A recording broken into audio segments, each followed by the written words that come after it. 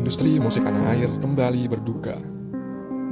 Salah satu musisi kebanggaan Indonesia, Glenn Fredly meninggal dunia sore ini, Rabu 8 April 2020. Ia meninggal dunia pada usia 44 tahun karena penyakit meningitis di Rumah Sakit Setia Mitra Fatmawati, Jakarta pada pukul 18 waktu Indonesia Barat.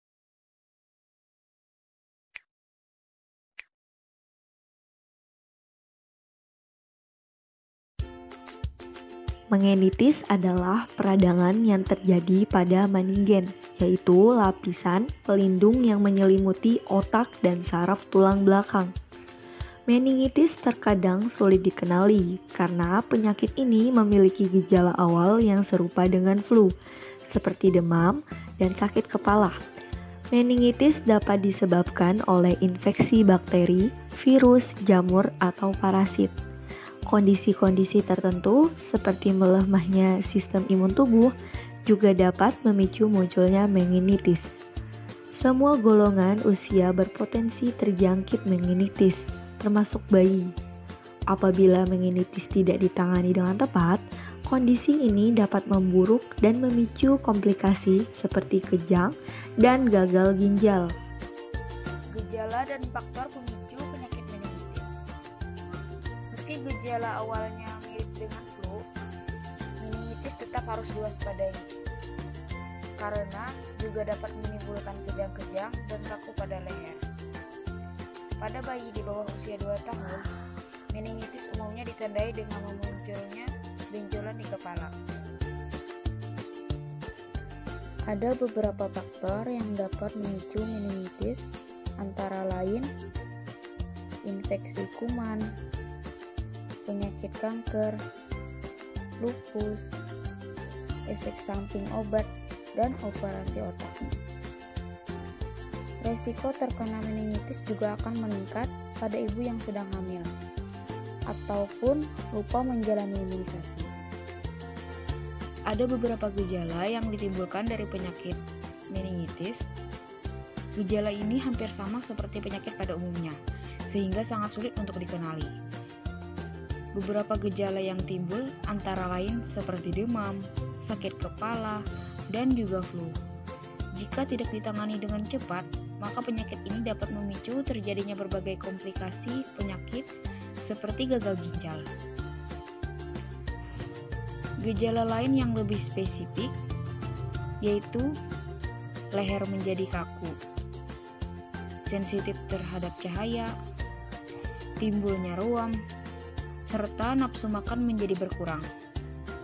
Pada anak di bawah usia 2 tahun, munculnya gejala meningitis hampir sama seperti pada orang dewasa.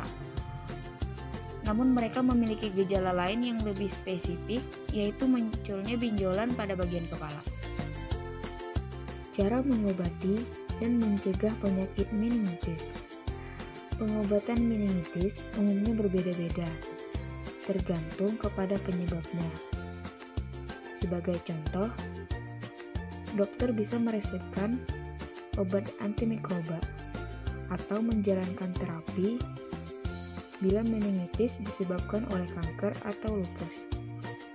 Penyakit ini bisa dicegah dengan menjalani gaya hidup sehat, menghindari kondisi yang dapat memicu penyebaran infeksi.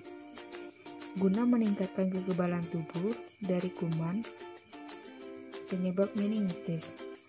Lakukan vaksinisasi termasuk vaksin PCV sesuai anjuran dokter.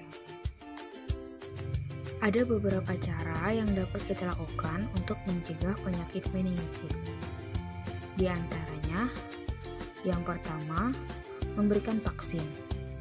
Pemberian vaksin dibutuhkan untuk mencegah tertularnya seseorang dengan orang lain yang memiliki penyakit meningitis. Jika Anda berumur 16 hingga 21 tahun, maka melakukan vaksinasi sangat dibutuhkan. Terutama sekali jika Anda tinggal berdampingan dengan orang lain dan jauh dari keluarga. Yang kedua, menjaga jarak dengan individu terinfeksi. Sudah dijelaskan bahwa penyakit ini termasuk ke dalam penyakit menular. Oleh karena itu, untuk mencegahnya, sebisa mungkin bagi Anda untuk tidak berdekatan dengan orang yang sudah terinfeksi penyakit ini. Yang ketiga, jaga sistem kekebalan tubuh. Hal ini sangat penting untuk tidak boleh dilupakan adalah untuk selalu menjaga sistem kekebalan pada tubuh dengan berolahraga dan mengkonsumsi makanan yang sehat dan seimbang. Demikianlah penjelasan lengkap terkait penyakit meningitis. Semoga dapat menjadi informasi yang bermanfaat bagi kita semua. Wassalamualaikum warahmatullahi wabarakatuh.